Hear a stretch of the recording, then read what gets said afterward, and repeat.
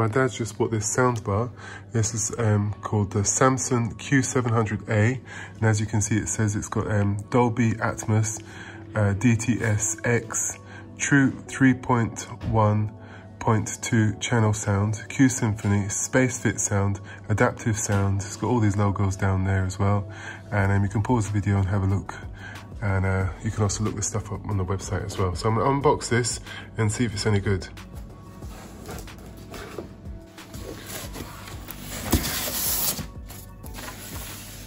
This must be the subwoofer.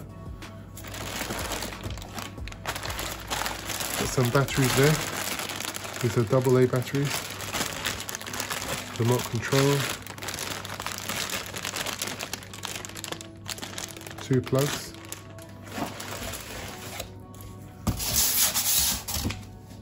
I need to cut this.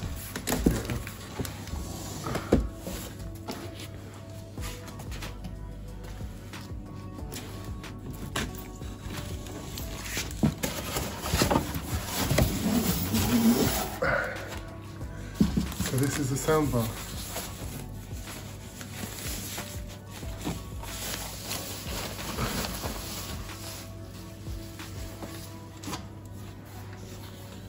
So you've got your buttons up there, volume control. Got two HDMI sockets, digital audio, optical in, service, DC, must be power. It's quite big. So now I'm going to take out the subwoofer, cut that.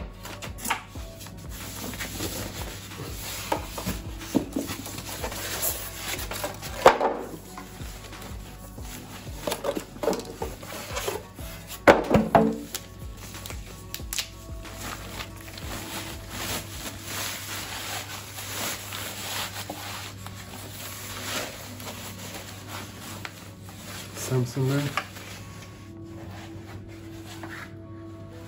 This is the subwoofer. So it only has a power. It says link standby ID set. Has a power supply there. And this is the subwoofer, it's quite big. So put it here. So on the top part of the bag, you've got the remote control batteries. And I'm just opening the bottom part. So I'm not sure what that is, maybe a mounting bracket. You got your HDMI cable and two power sockets. Sorry, um, power cables I should say. Get some papers.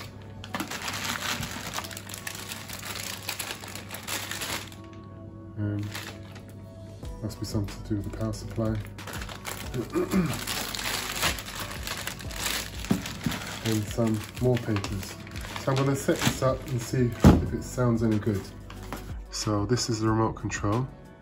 Um, you got sound mode here, so that's for surround. And there's a little screen there, tells you what you're doing. And then you can click surround and then game mode. Game Pro it's called. And then you got um, adaptive.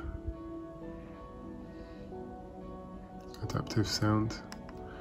And what else you got? Standard, surround, game, adaptive. And then you click here, this is settings one. You got treble, you can adjust the treble. And you got bass, you can put the bass up or down. Minus, just leave it on zero. And then what else you got? Um, sync. And then um, center, center level and front top level and then virtual. And you can also control the subwoofer. This is where you can push up to make the subwoofer go up like that. That's the most it will go plus six and you go down and it goes zero then minus one minus two. But it jumps to 12 I think once you get to six and you press down one more time minus 12 that's a big jump isn't it? Yeah, I just leave it on zero. You can adjust the volume as well. Here on this one. And mute it and this uh, it's the power of the source um, uh, the input source that's for And you can also pair this with your telephone as well. Just press that and you can, it says BT there for Bluetooth. It's very easy to pair. And um, if you can pair your telephone with your car, it's a similar process. Very, very easy to pair. And uh, I didn't even bother reading instructions and I was able to pair it with my telephone. Um, yeah, so I didn't even read the instructions and I set this up and it was very, very easy. It's all intuitive, very, very simple. But I suppose it depends on your experience. Here's the instructions for using the remote control. As you can see, it's got different sound modes there. It's also got sound control. And you can pause this and uh, read it all if you want. And also how to install the wall mount for the soundbar. So the reason why my parents bought these um, external speakers is because uh, their Samsung TV speakers blew out. Um, they were listening to probably loud music and it just blew out and so now if you listen to anything on those speakers, those TV speakers, it just crackles too much. So I said to my mum, dad, just get some um, decent external speakers. And they said, well, my dad says, no, get some really good speakers. So I started searching around and I saw these Q700A speakers, read some reviews and people said they're very good. But there was one thing that I wasn't really sure of. They said that the bass wasn't that good on these speakers. But now I have them, I, I know that's not true. The bass is, fantastic on these speakers and it's more than what um, I need or more than what my parents need.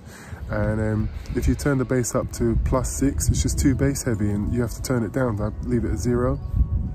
So uh, but the thing is, if you do like um, really heavy bass in your music, maybe you should step up and look at the Q800A uh, speakers by Samsung. Apparently that has more bass in um, uh, the subwoofer, but um, I, I, I, think these ones are, are more than uh, enough. I think it's fantastic. So um, yeah, I'm very very happy with them. And uh, also you can you can step up to the maybe the Q900 or the Q950. Uh, you know, you can just keep going up. But for the price, I think this is fantastic. I'm very very happy. Everything is very very clear. All the lyrics are very very clear in music and spoken content in in um, TV shows and everything. It's just fantastic. And the thing is, when you have a good pair of speakers as well, um, listening to music and um, watching TV just becomes so much more enjoyable. So it's worth getting some good external speakers. It just makes things just so much better. Setting up these speakers was very easy. I didn't even read the instructions and everything was just so intuitive. It was just very, very simple to straight um, straightforward to do. So yeah, um, nothing complex about it at all.